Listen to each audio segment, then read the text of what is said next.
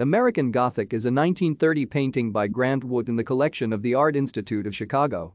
He was inspired to paint what is now known as the American Gothic house in Eldon, Iowa, along with the kind of people fancied should live in that house. It depicts a farmer standing beside his daughter, often mistakenly assumed to be his wife. The painting is named for the house's architectural style.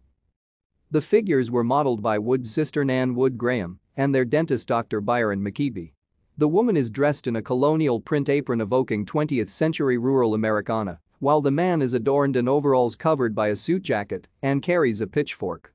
The plants on the porch of the house are mother-in-law's tongue and beefsteak begonia, which also appear in Wood's 1929 portrait of his mother, Woman with Plants.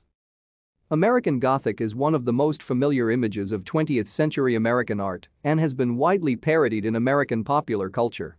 From 2016-17, the painting was displayed in Paris at the Musée de l'Orangerie and in London at the Royal Academy of Arts in its first showings outside the United States. In August 1930, Grant Wood, an American painter with European training, was driven around Eldon, Iowa by a young local painter named John Sharp. Thank you for watching. Like and subscribe if you would like to view more of our videos. Have a nice day.